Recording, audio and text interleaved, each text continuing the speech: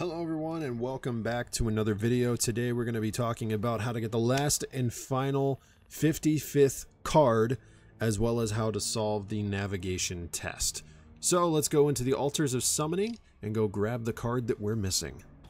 Alright, so once you load in, you're going to want to be quick about it and head directly over to this far right side here where there was a solar card at the first point.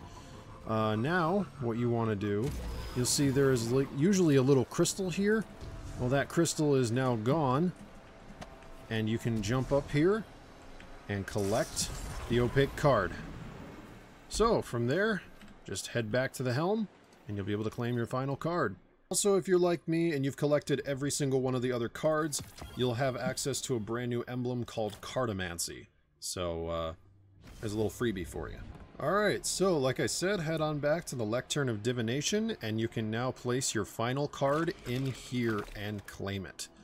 So, now that we've got all the cards claimed, we want to head to the Imbaru engine.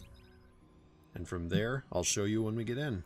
Okay, so now once we've done this, head up on the lift and head in as normal. Alright, so in my prior video about the strength test, I mentioned that you had to do the cunning test. I was in fact wrong about that. You can proceed through the Imbaru engine and not have to worry about doing any of the prior tests.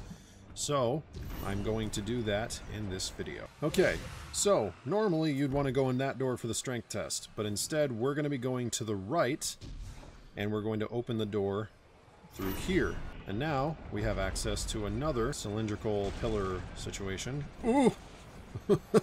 Alright, let's head on up.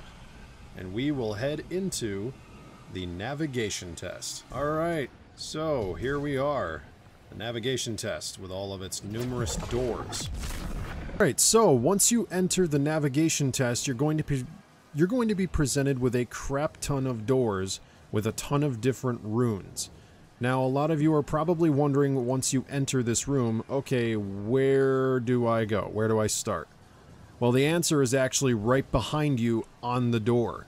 So you're going to have either a symbol to the left, a symbol to the right, or a symbol just above you. In this case, I have an arc symbol to my left, which means that I have to go through the door that has an arc symbol to its left, which is that one right there.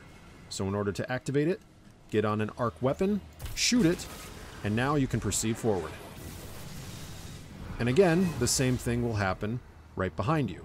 So it's going to reset, and you're going to have a new symbol behind you. In this case, I have solar above. So I have to find the solar above, refresh the weapon to a new type, and head on through.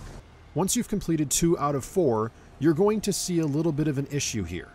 For example, I now have the void symbol to the right, but you see there is no void symbol to the right.